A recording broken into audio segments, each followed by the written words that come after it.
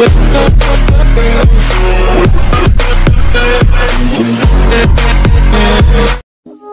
To my channel ఈరోజు నేను మీకు కొబ్బరి బోండంతో స్పెషల్ డ్రింక్ని ఎలా తయారు చేసుకోవాలో చూపిస్తాను.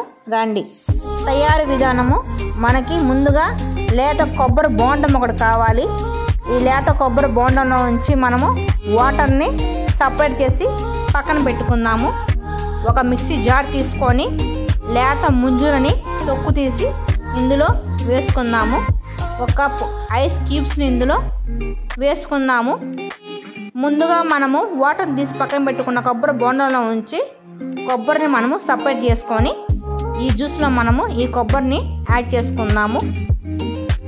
కొబ్బరి వాటర్ని మనము పక్కన పెట్టుకున్న కొబ్బరి వాటర్ని మనము ఈ జ్యూస్లో మనము యాడ్ చేసుకుందాము.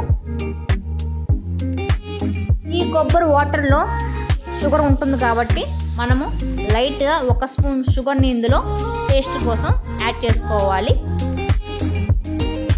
ఈ జ్యూస్ని మనము చాలా మెత్తగా కాకుండా కొంచెం పరుపు పరుపుగా బ్లైండ్ చేసుకుంటే ఈ జ్యూస్ తాగుతున్నప్పుడు మధ్య మధ్యలో కొబ్బరి ముక్కలు తగులుతూ చాలా అంటే చాలా టేస్టీగా ఉంటుంది.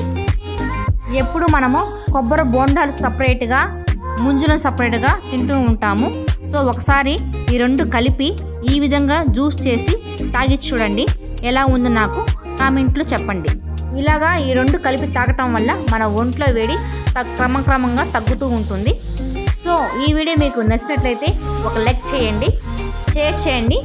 సబ్స్క్రైబ్ చేసుకోండి.